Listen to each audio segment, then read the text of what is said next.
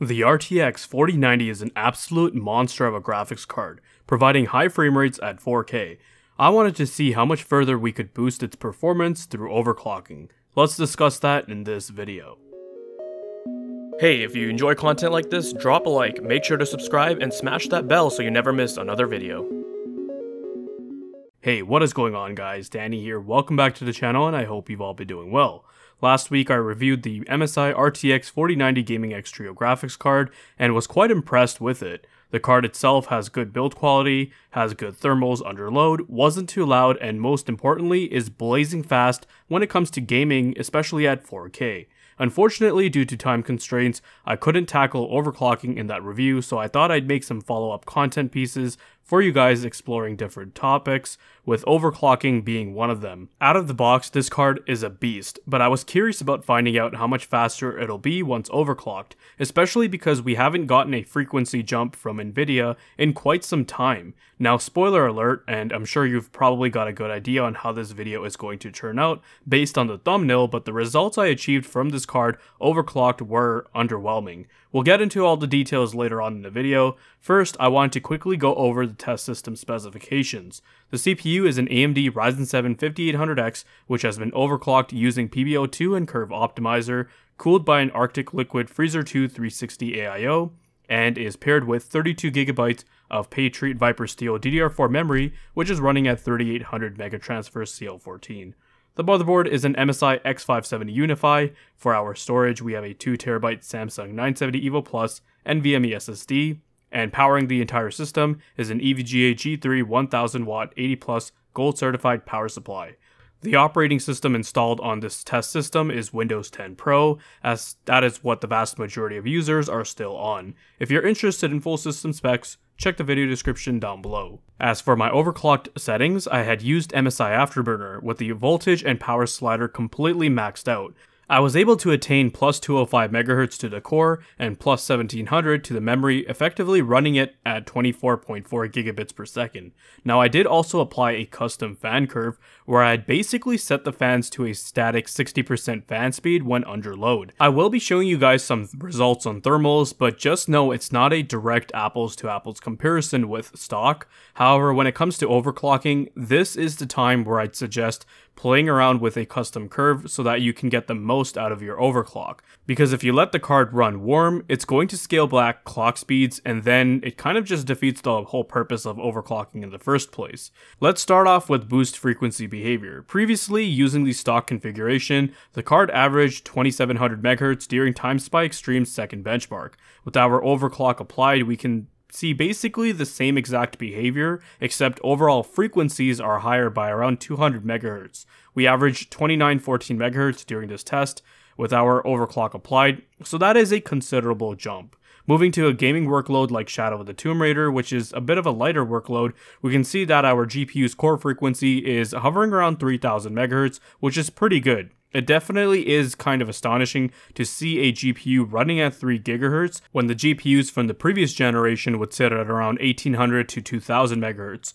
Compared to the MSI RTX 4090 Gaming X Trio stock config, we're looking at a 255 MHz uplift in frequency when it comes to Shadow of the Tomb Raider, which is pretty good. Taking a quick look at thermals, and even though we're overclocked and power limits are also higher, we can see considerably better temps during TimeSpy Extreme's second benchmark. Like I said, I had to utilize a custom fan curve, which was used in tandem with overclocking so I could get the most out of it, and I would suggest doing the same if you plan on overclocking your GPU.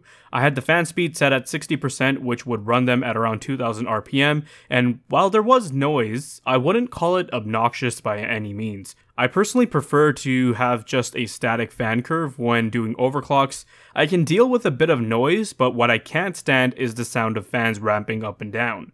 Nonetheless, it's great to see that even with just raising the fan speed to 60%, temps for the GPU core, hotspot, and memory are all relatively low.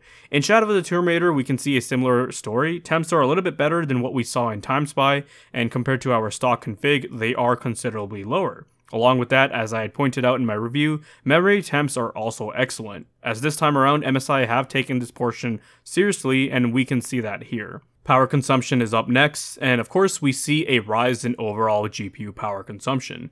During TimeSpy, the GPU averaged 450 watts of power consumption and peaked at 465 watts. That is a 4% increase to overall power usage. In Shadow of the Tomb Raider, we can see a larger difference at 7% for the average power consumption, while the GPU peaked at 435 watts under load. So keep that figure in your head as we take a look at the gaming benchmarks.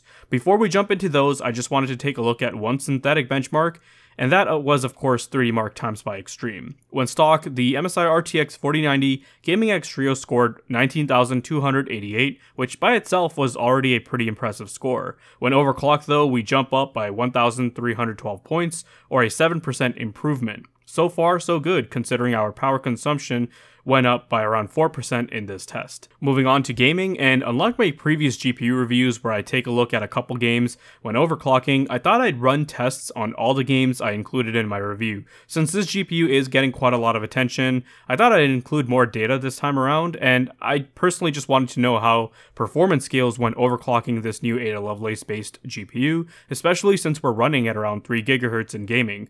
The first game we have is Total War Warhammer 3, and when looking at our average frame rate, we have an 8% increase, and our 1% lows are also better by 10%, so I'd say we're already off to a pretty decent start. In Forza Horizon 5, the increase isn't too large this time, where our average frame rate is only better by 4%, while our 1% lows are a little bit worse, but it's basically within margin of error. In Hitman 3, we're actually bottlenecked at 4K, which is pretty amazing, but also a little bit of a letdown since nothing really changes. In Shadow of the Tomb Raider, we see decent GPU scaling at 7% for our average frame rate and 5% for the 1% lows. Still, I have to point out that at stock, its performance at 4K was already quite stellar, and I'll be expanding on that a little bit later on in the video.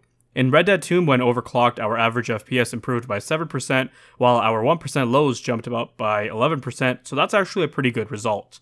Assassin's Creed Valhalla is up next, and we see some pretty surprising results. Our average frame rate jumped up by a whopping 18%, and our 1% lows also improved by 15%. I know this game is quite GPU bound, but I still wasn't expecting performance to go up by that much just from overclocking, but hey, that's good to know. Far Cry 6 is up next and is another Ubisoft title, but unfortunately, unlike Assassin's Creed, we don't see the same sort of performance uplift, just a mere 4% boost to our average FPS and 5% to the 1% lows. Cyberpunk 2077 is up next, and this was the game I was hoping I'd see a significant performance boost. Despite a 9% uplift to our average FPS, it's just a 7 FPS increase, which isn't going to be that noticeable, and the 1% lows are also increased by just 5 FPS. In Gears 5, while the average frame rate gets a bit of an increase, the 1% lows benefit quite a lot from our overclock, where now we're sitting at 87 FPS, and that's a 40% increase. Control is another GPU bound title in our list here. With our overclocked configuration, our average FPS sees an increase of 6%, and our 1% lows improved by 5%. Horizon Zero Dawn is another title which sees some decent gains. Here we can see that the difference between stock and overclocked is 8% for our average FPS. Meanwhile, our 1% lows go up by a similar margin at 7%. The last game was Doom Eternal, and here we can see performance is basically within margin of error for this title.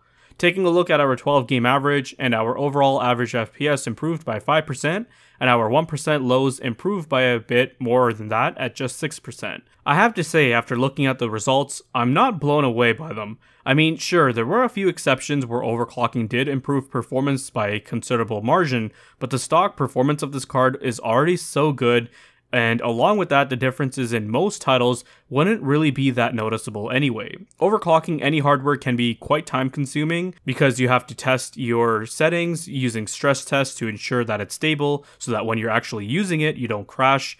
Taking these results into consideration, and it just doesn't seem like it's worth the hassle, honestly. I know someone might say, well, who cares, it's free performance, but that's not technically true since power consumption does also go up considerably, so there's that trade off you have to take into account. For me personally, I would just run the card at stock. Like I said, performance out of the box is already stellar, and now that I know that overclocking isn't really worth it, I now have my sights set on undervolting and power limiting the card. Can we maintain this card's stock gaming performance while using considerably lower power, or perhaps we might even gain some performance while using lower power? So stay tuned for that because that will be the next topic I tackle for my next video. If you guys found this video to be informative and entertaining, then leave a like. Let me know your thoughts and comments down below. Be sure to check out the video description for cool links and ways to support the channel, such as using my Amazon affiliate link. And if you're interested in seeing more content like this, then consider subscribing, I'd greatly appreciate it. Thank you guys so much for watching, take care, and I'll see you in the next one.